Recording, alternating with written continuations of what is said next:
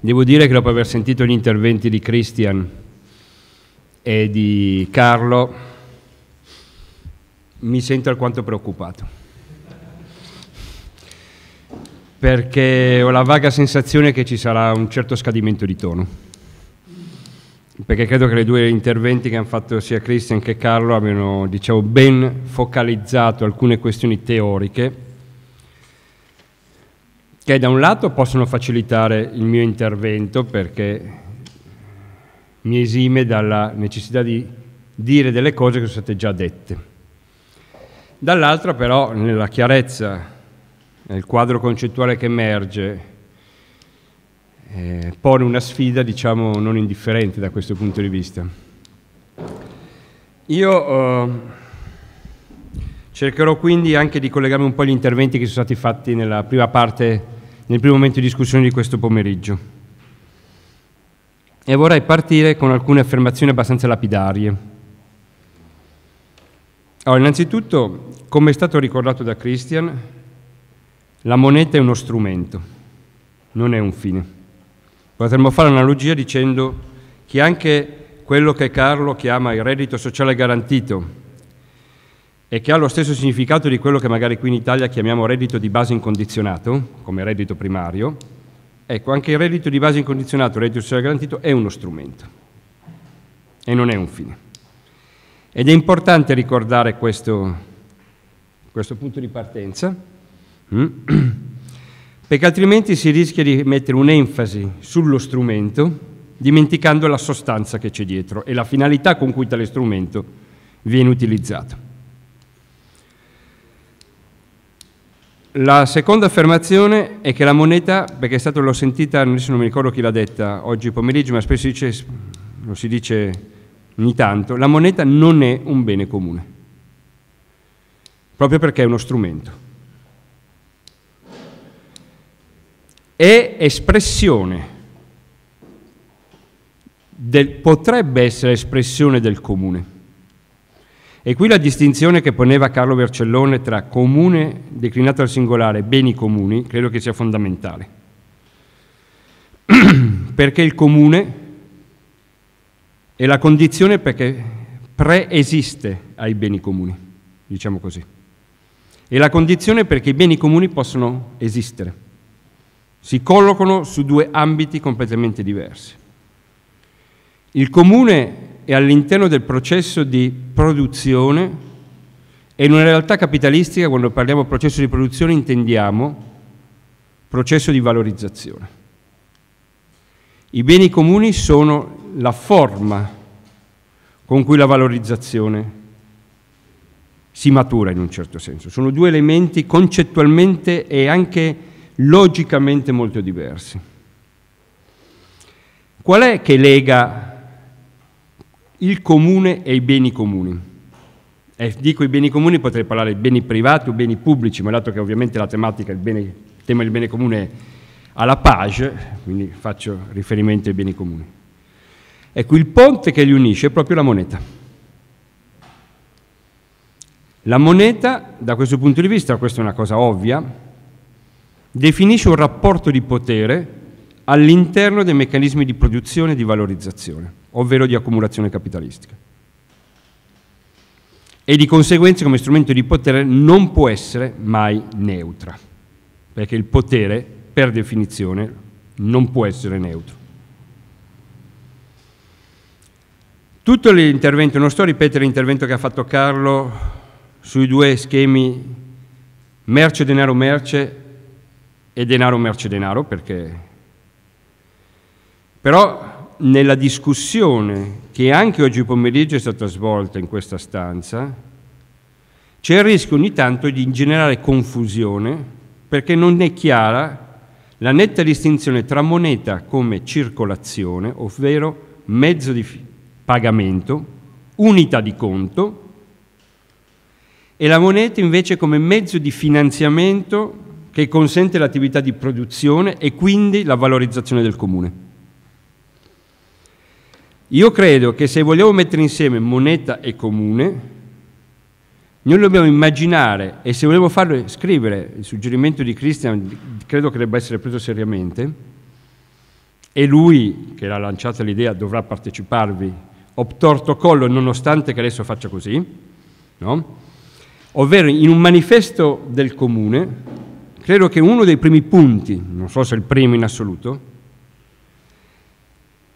deve dire che una moneta è del comune, può fregiarsi di questo nome, indipendentemente poi dalla forma e dalle modalità che potrà assumere, nel momento stesso in cui è mezzo di finanziamento e non mezzo di scambio. Allora, se noi guardiamo le mille monete in, cosiddette alternative in circolazione, io credo che una infima minoranza possono avere a che fare con la funzione di mezzo di finanziamento. Questo già è un, è un discrimine da questo punto di vista. E se noi domani mattina vogliamo discutere di un possibile esperimento che abbia come denominazione la sperimentazione della moneta del comune, dobbiamo partire, uno dei punti centrali è proprio la, la moneta come mezzo di finanziamento. Dire la moneta come mezzo di finanziamento significa dire quello che prima ha detto Christian e quello che poi ha ribadito Carlo con parole diverse. Cioè Carlo parlava di moneta endogena alla riproduzione della forza lavoro. E Carlo parlava che la moneta come rapporto di potere è la misura del rapporto di sfruttamento.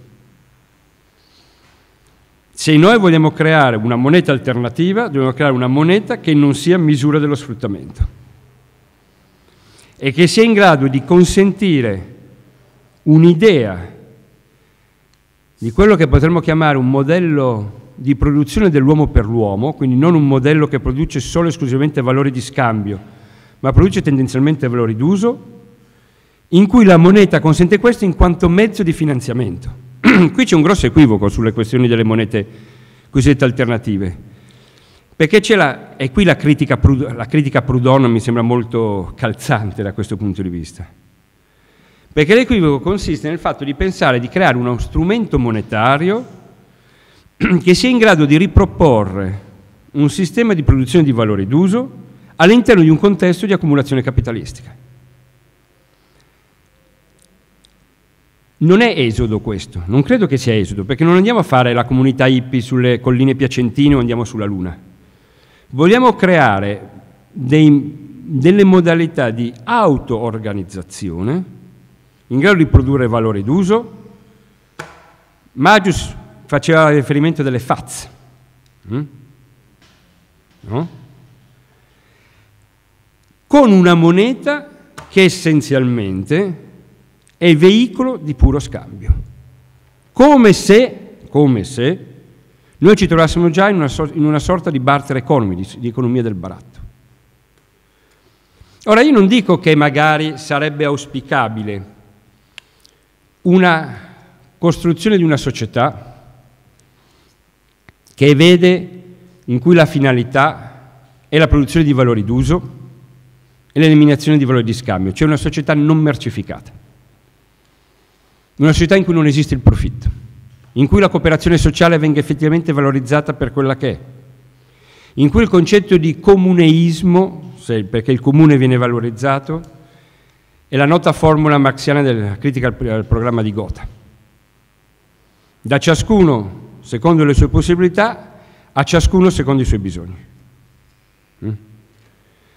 Però per arrivare a questo obiettivo non, non è possibile perseguire scorciatoie che rischiano di creare ambiguità e addirittura di portare a risultati opposti. Non è la declamatoria volontaristica che è sufficiente. E qui si pone un problema che è la seconda parte del mio intervento. Sono nove minuti che parlo, ancora otto minuti. Sono giusto a metà.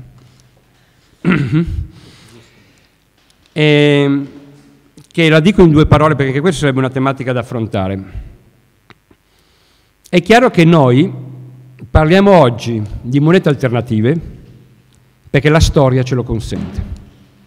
È vero, come diceva Christian, che questi esperimenti, dalle teorie di Gesell, dagli anni 30, ma anche l'esperimento che ricordava Cristian Argentina ci rimanda indietro nella storia. Però io vorrei far notare che questi esperimenti, questi qui del VIR che nasce negli anni 30 ad esempio, di Gesell e quello dell'Argentina per fare alcuni casi, sono forme di reazione a situazioni di crisi. Non sono forme di azione, sono forme di passività, in un certo senso cercano di reagire a una sorta di situazione di crisi che i meccanismi di accumulazione capitalistica hanno generato. I primi tentativi di cui parte Gesell è Weimar, è la crisi di Weimar, ovviamente. No. Noi dobbiamo pensare a una moneta alternativa che sia offensiva, non sia difensiva. Perché molti di questi esperimenti oggi in voco sono difensivi. Ed essendo difensivi si collocano all'interno di un meccanismo di sussunzione vitale del capitalismo. Negli anni, eh, oggi, poi tra parentesi, oggi, quindi il tema delle monete, a mio avviso, il tema delle monete alternative è strettamente connaturato al presente perché il presente presenta, scusate la cacofonia, delle novità che ci consentono di parlare di monete alternative. E queste novità sono tante, però mi, a me preme sottolinearne due. Una, che era implicito nel discorso di Christian, che oggi abbiamo assistito dalla, con la fine di Bretton Woods alla totale smaterializzazione della moneta. È venuta meno l'unità di misura della moneta. Non c'è più legame con una merce fisica di riferimento. I 35 dollari per oncia d'oro che era stata siglata negli accordi del 43 di Bretton Woods. Quindi la moneta oggi è puro segno, si direbbe Marx, hm? contraddicendo lo stesso Marx del primo libro del Capitale. No? E di conseguenza questa significa che la moneta è libera e quindi può essere utilizzata. Ma ovviamente deve essere utilizzata con una finalità, essendo un mezzo, uno strumento la moneta e non un fine in sé per sé. E bisogna decidere a che pro approfittare, godere, sfruttare questa libertà monetaria. Libertà monetaria che poi le tecnologie ci verificano, perché il bitcoin, le macchinette che fanno il bitcoin, al di là che utilizzano elettricità o meno, hanno una affascinazione perché ricordano la cornucopia di Remida, cioè dal nulla si crea qualcosa che va contro, quasi contro i principi della fisica. No? Perché l'immaterialità è qualcosa che va contro quella che è il nostro ambito di pensiero che abbiamo ereditato dal Novecento. E anche i meccanismi di accumulazione, questa è l'altra novità, i meccanismi di produzione sono prevalentemente immateriali. E questo elemento, questi due elementi, l'immaterialità crescente e tendenziale della produzione e la moneta che non ha più un ancoraggio materiale, meramente smaterializzato, ci danno delle ampie possibilità. In quell'articolo che abbiamo discusso nel seminario di, al Goldsmiths College di Londra, dice, eh, scrivevo che noi siamo di fronte a una grandissima opportunità del presente, non, eh, che dobbiamo essere in grado di sfruttarlo. Allora, prima che ci fossero questi cambiamenti, noi eravamo l'economia capitalistica nell'ambito delle teorie keynesiane post-keynesiane o max-keynesiane, tipo la teoria del circuito monetario. Prima Christian faceva riferimento a Bertrand Schmitt, però noi possiamo fare riferimento a Augusto Graziani, ad esempio. Parlavano, e già Keynes utilizzava il termine, di economia monetaria di produzione, dove la centralità era la produzione manifatturiera, la produzione materiale, che veniva finanziata da una moneta, gestita da mercati creditizi, sotto un controllo statuale, banche centrali e sovranità monetaria nazionale. E lì la moneta entrava nel circuito economico come, come mezzo di finanziamento sotto forma di moneta creditizia essenzialmente. E i mercati finanziari avevano un ruolo, diciamo, di, che trattavano moneta di circolazione, di realizzazione monetaria, ma non di finanziamento della produzione. E qual è stata l'alternativa che le forze antagoniste al capitale hanno maturato nel corso del Novecento. Se noi vogliamo intervenire su un'economia di monetaria produzione, dobbiamo prendere possesso dei mezzi di produzione. Questa è stata la rivoluzione del 17, la rivoluzione bolscevica. L'idea che tu potevi superare il capitalismo appropriandoti dei mezzi di produzione, perché era dell'appropriazione dei mezzi di produzione quindi entrando nel rapporto capitale-lavoro che, al, che si declinava come uomo-macchina, modificando questo rapporto riuscivi a sviluppare il sol dell'avvenire, la società comunista. No? In realtà poi abbiamo visto che non, stato, non era sufficiente questo. No? Oggi siamo in un'economia finanziaria di produzione, dove l'elemento di materialità, le modalità di organizzazione del lavoro sono completamente diverse.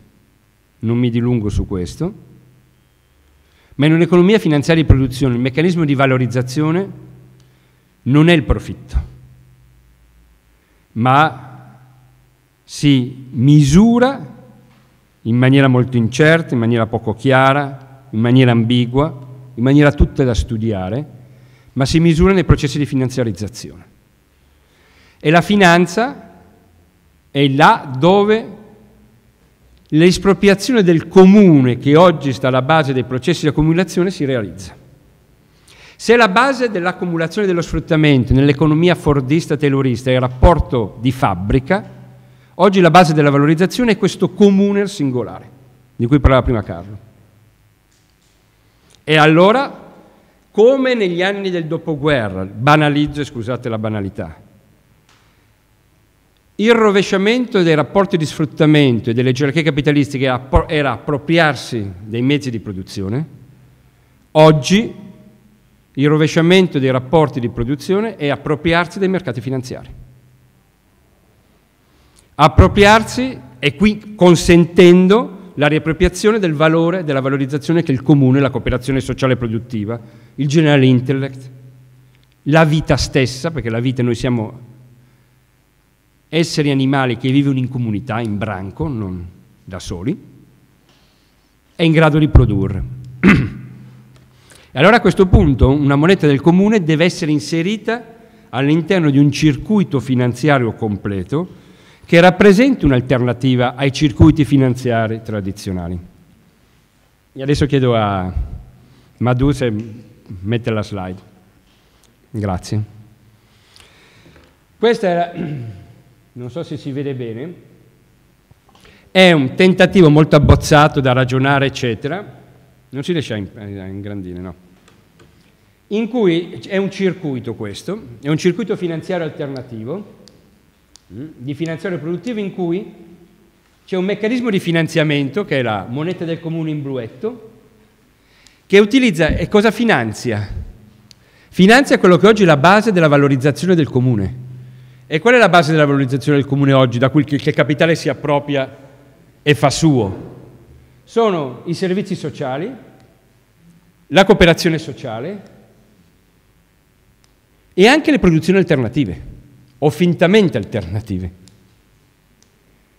Noi dovremmo inserire, pensare una moneta del comune in grado di che entra e quindi ha ragione di esistere nel momento stesso che diventa finanziamento di investimenti in valore d'uso, servizi sociali cooperativi e, pag- e riproduzione della forza lavoro, cioè forme salariali. Allora riusciamo a avere come output di questo, come esito del processo di cooperazione sociale, un modello antropogenetico di produzione dell'uomo per l'uomo, cioè l'idea di un embrione di produzione alternative come già esistono, perché già oggi siamo di fronte a miriadi di esempi di produzione del comune, di produzione alternativa e di autoproduzione, credo che questo posto sia un ottimo esempio come tanti altri posti. Mm. Che noi dobbiamo essere in grado di generalizzare, dobbiamo essere in grado di dare, a cui dare gambe, perché mantenga la propria autonomia e non, faccia, non venga sussunto, e sia in grado di estendersi e non venga ghettizzato.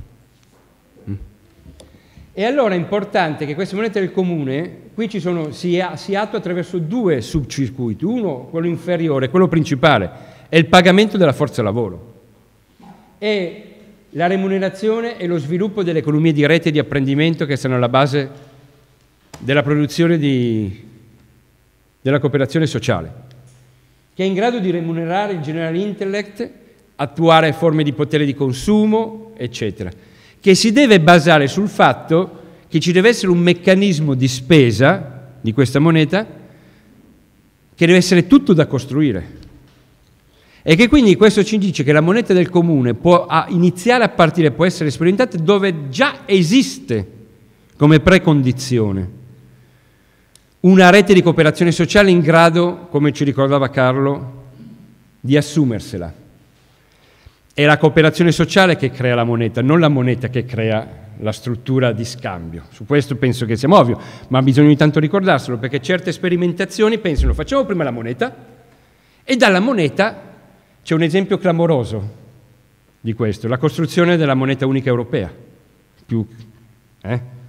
In Europa prima si fa la moneta e poi fatta la moneta, come diceva Cavour, facciamo l'Italia e poi facciamo gli italiani. In Europa si dice facciamo la moneta e poi facciamo l'Europa, gli europei. E vedete come sta andando.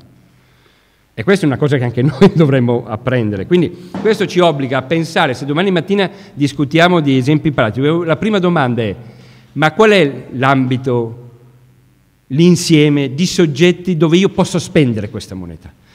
Perché io non la creo per spenderla, la creo come finanziamento di servizi sociali, di redditi di base, di common fare, di pagamento di salari, di salari integrativi, eccetera, che poi devono essere spese, perché deve essere una moneta ex nilo che si distrugge nel momento stesso in cui il circuito produttivo si chiude. Per cui noi dobbiamo pensare a una moneta del comune che, se dobbiamo fare un manifesto una moneta del comune, deve avere i parametri, deve essere una moneta che entri come meccanismo di finanziamento sia una moneta che, in cui l'incentivo all'accumulo come riserva di valore e quindi tutto il decumulo, il demurrage, tassi di interesse negativi, eccetera, ha queste caratteristiche, e deve essere pagamento di lavoro, deve essere collegato immediatamente e deve intervenire nel rapporto di sfruttamento capitale di lavoro. Poi come dice la saggezza popolare, se sono rose fioriranno, nel senso che se poi una volta che noi abbiamo pensato a una moneta che entra con queste caratteristiche e trova un circuito il più possibile estendibile, cumulabile nel tempo, che si allarga, magari in maniera virtuosa endogena, ma inizialmente deve essere pompato sicuramente. Eh, allora questo mette in moto un circuito alternativo che potrebbe diventare, che non è sostitutivo dei circuiti tradizionali, ma all'interno di quelli che sono i meccanismi di accumulazione capitalistica, quindi non è puro esodo, è in grado di sviluppare delle alternatività qui e ora. E, e con, concludo. Volevo dire una cosa ma non me la ricordo più. Vabbè, concludo qui perché ho già parlato troppo.